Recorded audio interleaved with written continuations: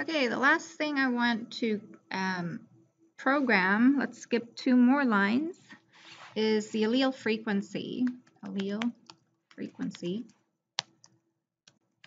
in the next generation. So now that we have all these um, zygotes, um, I want to calculate the frequencies of each allele in this new generation. So we're going to calculate mu p and a new q.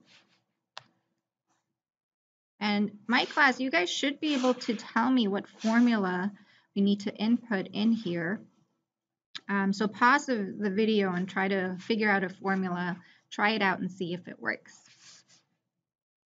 Okay, let's see how you guys did. So we're basically counting uh, the number of A's, which is found in cell H29 in this case, right?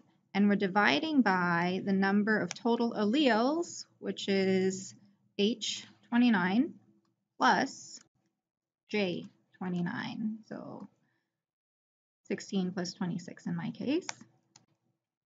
Okay, hit enter. And there is your new p-value.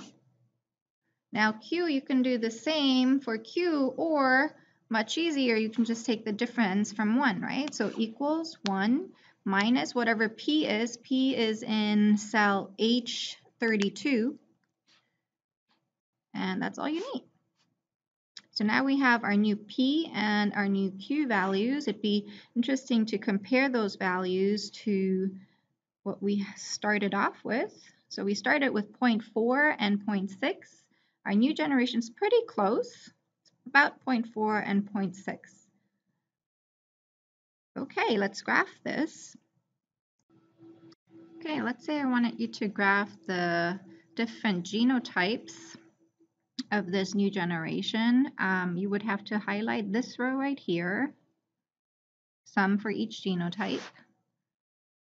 Then um, there um, should be an insert tab up there. And in the insert tab, I'm going to choose the bar graph function right there. Okay, 2D. And Excel automatically generates this nice looking bar graph.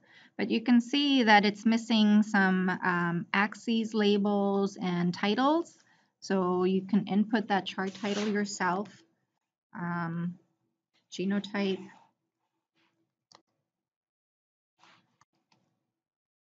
in the next generation. And we now need to change the axis. So I'm going to click on that plus sign and add, some titles.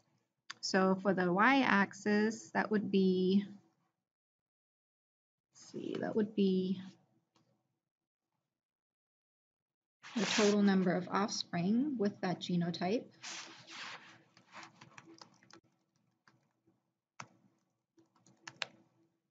Okay, and for the axis title, it would be the different genotypes. Okay, now to change the 1, 2, 3 to the actual genotypes, uh, what you need to do is click right click on the graph and select oh that's not it hang on right click on the graph and okay so we want to select data. Okay so select data. And instead of having the horizontal or x-axis labeled 1, 2, 3, we're going to edit that. Okay, and select for our axis label um, these titles that are already in our spreadsheet. So A1, B, let's see, how do I highlight this?